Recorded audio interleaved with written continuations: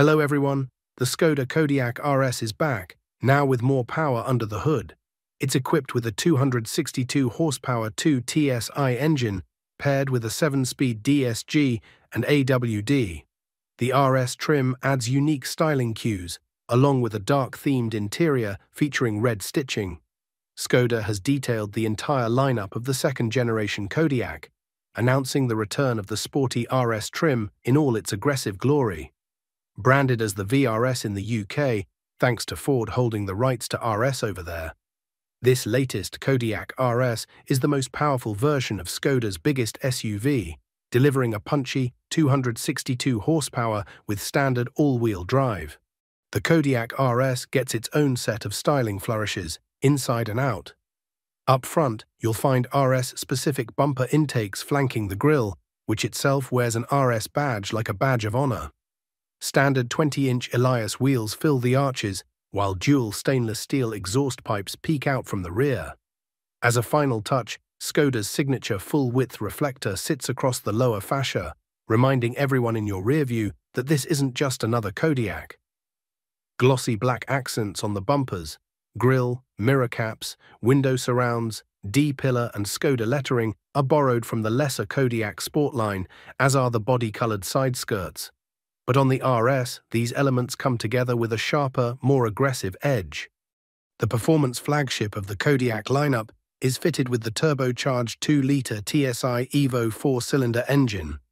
The mill generates 262 horsepower, 195 kilowatts, and 400 newton meters of torque, representing an increase of 20 horsepower 15 kilowatts over its predecessor.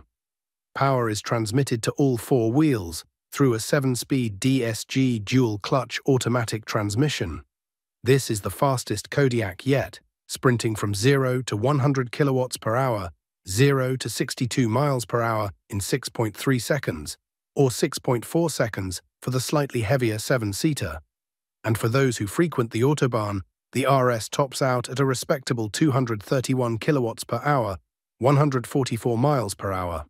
The Skoda Kodiaq RS comes standard with progressive steering, selectable driving modes, Eco, Comfort, Normal, Sport, Individual, Snow and Off-Road, as well as the DCC Plus suspension system with 15 different settings for the adaptive dampers.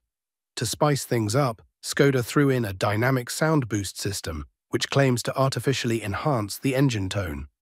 Step inside, and the RS badging continues to make itself known power-adjustable sports seats with integrated headrests, an RS emblem on the steering wheel, stainless steel pedals, and a dark theme with red contrast stitching deliver a hint of sportiness. The standard Suedia artificial leather upholstery on the seats, dashboard and door cards can be optionally traded for a combination of genuine perforated leather artificial leather. Tech-wise, the SUV comes with dual 10-inch screens for the digital cockpit, although a larger 13-inch infotainment display is available as an option.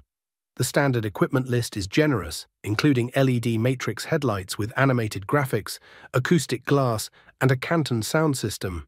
Skoda hasn't dropped any hints on the price for the Kodiaq RS yet, though it's safe to say it'll sit atop the lineup as the priciest model. Still, even fully loaded, it's expected to undercut the equivalent Volkswagen Tayron making it a more budget-friendly option in the performance SUV space. I would like to hear your opinion about new Skoda Kodiaq RS, and I'll be waiting for it in the comments. Don't forget to like and subscribe to the channel not to miss the latest news from the world of automobiles. See you soon. Goodbye, everyone.